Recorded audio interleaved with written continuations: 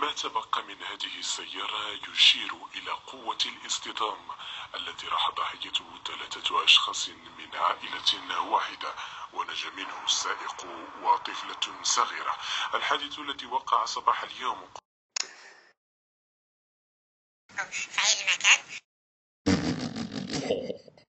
طائق آه، حوالي 24 سنة.